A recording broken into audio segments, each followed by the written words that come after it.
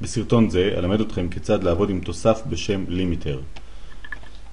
אני נמצא ב Google Drive, אני לוחץ על חדש, לוחץ על עוד ו Google Forms, ואני הולך ליצור עכשיו איזשהו אה, מבחן לילדים או איזשהו דף שאלות שניתן לענות עליו עד תאריך מסוים, או אני יכול להשתמש בזה בצורה אחרת, לדוגמה דף הרשמה לפעילות, שברגע שמספר הנרשמים מגיע למכסה שהגדרתי מראש, הטופס נסגר. אז אני נותן שם לטופס, קודם כל לוחץ למעלה במקום שכתוב טופס ללא כותרת, קליק אחד, מקליד את שם הטופס, לדוגמה הרשמה לפעילות או להרצאה,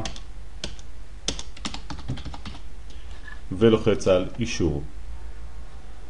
אני מקליד את השאלה הראשונה, שם הנרשם, מסוג טקסט, נאמר שזו שאלת חובה, בוצע. זה כרגע מספיק לי ואני לא צריך יותר מזה עוד שאלות. כדי להפעיל את התוסף, אני לוחץ על תפריט תוספים ומפעיל את פורם לימיטר. במידה והוא לא קיים, אני לוחץ על קבל תוספים, לחיצה אחת, מקליד בתיבת החיפוש פורם לימיטר, מספיק לכתוב גם רק Limiter, Enter, ואני מתקין את ה Form Limiter. לוחץ על חינם במקום שאצלי כתוב נהל, כי אצלי זה כבר מותקן, ולוחץ על קבל כדי לקבל את כל אה, אישורי הגישה של התוסף. איך אני מפעיל את התוסף? קליק על תוספים, Form Limiter, set limit. חלון העבודה עם התוסף נפתח בצד שמאל של המסך. אני יכול להגדיר האם הלימיט יהיה מועד או האם הלימיט יהיה כמות. אני רוצה במקרה הזה שהלימיט יהיה כמות. אני לוחץ על Select ובוחר ב-Max Number of Form Responses.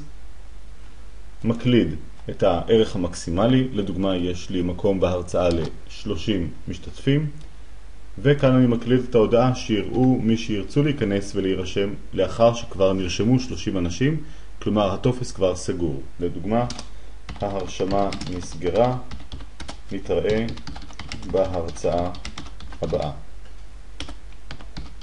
שרון, ואני לוחץ על Save and Enable. בהצלחה.